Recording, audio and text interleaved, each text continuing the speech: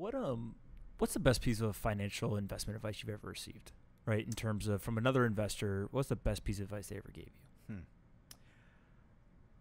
Hmm. Um, well, I have a friend named Brent Beshore, and this is going to be Ah. advice uh, through Brent because it didn't come directly from Brent. It Brent came- is it- it- It, came from uh, Warren Buffett.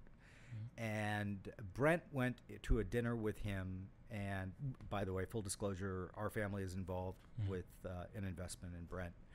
Um, anyway, uh, Brent is a very detail oriented guy and a really super nice guy. Mm-hmm. Um, and, you know, he wanted to hear all about Buffett's diligence. And, you know, he had his paper ready to take his notes.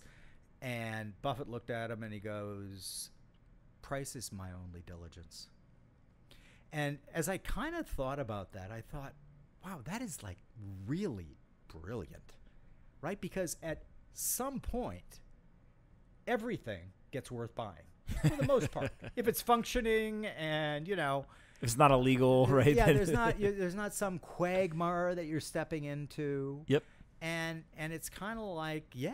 I mean, ultimately, uh, Jamie Dimon, Diamond once said, "Give me a uh, C rank plan with A rank players, and I'll take that all day long over an A rank plan with C rate players." Mm-hmm. Um, so I think you know m- most investment advice is really elemental Mm-hmm. and and it speaks to uh, what I call the well well duh, Mhm. right? You know, so you hear Buffett say price is my only diligence and you think, well, if it wasn't Warren Buffett, no one would pay any attention to him. But they would.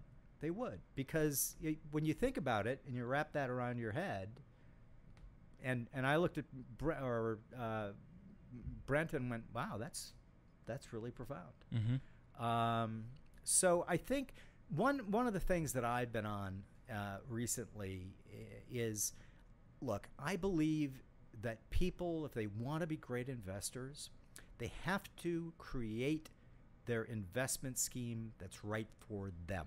Mm-hmm. What is right for me might not be right for you. Read as much as you can and read outside the field of finance, definitely. But as you do that, take notes. See what resonates with you, see what doesn't.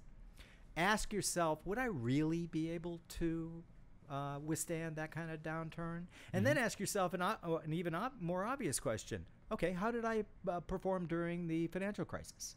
If I sold all my stocks in uh, January or February, I know I got a problem. And then I got to try to build an investment strategy that will work for me. Listen, good investing is simple, it's just not easy. Mm-hmm. And and that is you know something that a lot of people you know go back to basic principles. And you know get somebody to be a wingman for you because for the most part you'll panic. I used to say to people you know do a letter from your advisor that's from you that says uh, dear mr advisor mrs advisor i know that at some point in the future i will panic about you know and then leave a space where you can fill it in. And you are going to tell me what a stupid idea that is for me and then show it to me at the time. Um, again as as long as human nature remains what it is i got a day job